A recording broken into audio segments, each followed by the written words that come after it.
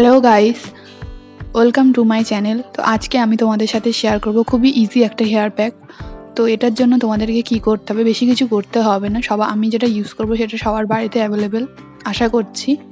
তো তার জন্য আমাদের লাগবে অল্প কিছুটা কারি পাতা, এক মুঠো, আর দু থেকে তিন স্পুন কার্ড তো আমি এটা অয়েলিং হেয়ারে অ্যাপ্লাই করব। তোমরা চাইলে নর্মাল হেয়ারে অ্যাপ্লাই করতে পারো। তো চলো, তৈরি করে নিই প্যাকটা তো আমি এখানে নিয়েছি কারি পাতা। তো এটাকে ভালো করে ক্লিন করে নেব এবার। তো এটা ক্লিন করে নেওয়ার পরে এটা মিক্সারে দিয়ে একটু পেস্ট করে নেব ফার্স্টে তো দেখো আমার কারি পাতা ক্লিন করা হয়ে গেছে, তোমরা এতটাই নেবে।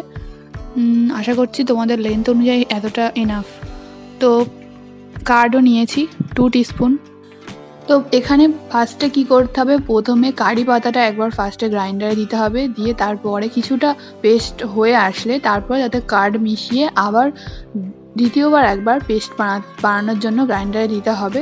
তো চলো সেটাই বানিয়ে নেওয়া যাক।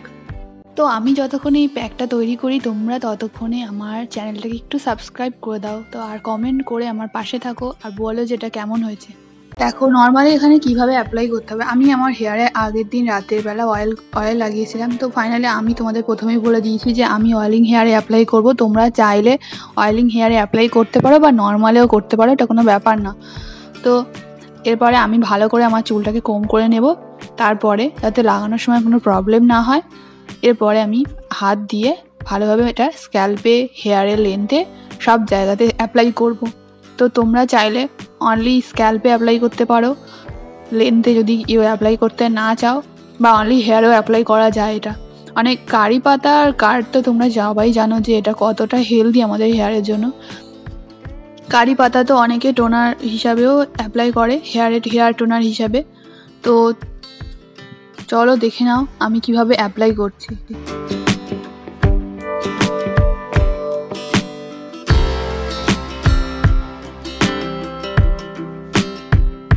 সো গাইস এই ভিডিওটা যদি তোমরা দেখে থাকো, তাহলে আমি তো একবার অন্তত বলব যে এটা অন্তত একবার তোমরা তোমাদের মাথাতে অ্যাপ্লাই করো, তারপরে তোমরা নিজেরাই রেজাল্ট দেখতে পারবে আর এর কোনো সাইড এফেক্ট নেই। তোমরা তো জানো হোম রেমেডিতে অ্যাকচুয়ালি সাইড এফেক্ট থাকে না।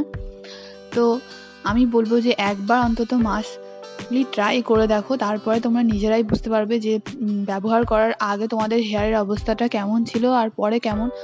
তো আমি এটা ব্যবহার করার পরে পনেরো থেকে তিরিশ মিনিট মাথাতে রেখে দেবো। তারপরে আমি হেয়ারটা শ্যাম্পু দিয়ে ওয়াশ করব। যেহেতু আমার চুলে অয়েল লাগানো ছিল, তোমাদেরকে বলেছি। তো সেই জন্য আমি আমার চুলে শ্যাম্পু দিয়ে ওয়াশ করব। তোমরা যদি শুধু এই কারি পাতা কাট অ্যাপ্লাই করো অয়েল লাগানো না থাকে, তাহলে তোমরা নর্মালি ওয়াটার দিয়ে ওয়াশ করতে পারে। তো চলো, টাটা।